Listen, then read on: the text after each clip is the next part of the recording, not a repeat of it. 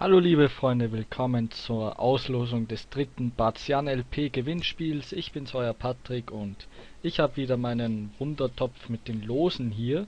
Ähm, diesmal eher weniger Spieler, das heißt eure Gewinnchance ist um Weiten höher.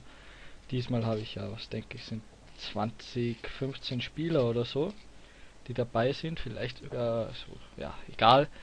Ähm, ja, ich denke mal wir fangen gleich mal an. Ich habe euch ja gefragt, was euer Lieblingsspiel war, ihr vor, bevor ihr 10 wart. Ja, einer hatte das Problem, der war 28. Ähm, ja, der hat mir dann einfach geschrieben, was sein erstes Lieblingsspiel war. Naja, ich denke mal, es geht los. Ähm, das erste Los ist natürlich für Total, Total War Shogun 2, die Limited Edition.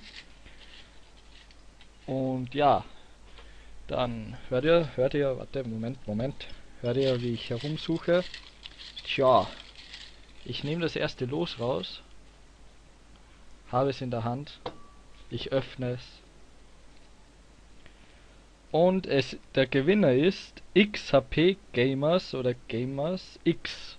Okay, XHP Gamers X hat Total War Shogun 2 die Limited Edition gewonnen.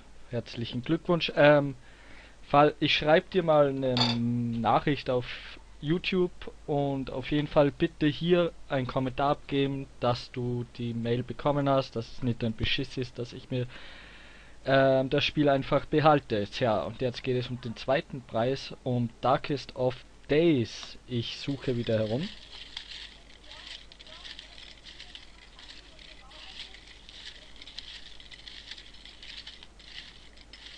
Natürlich schaue ich, ob du auch ein Abonnent bist, natürlich, sonst nehme ich neu auf.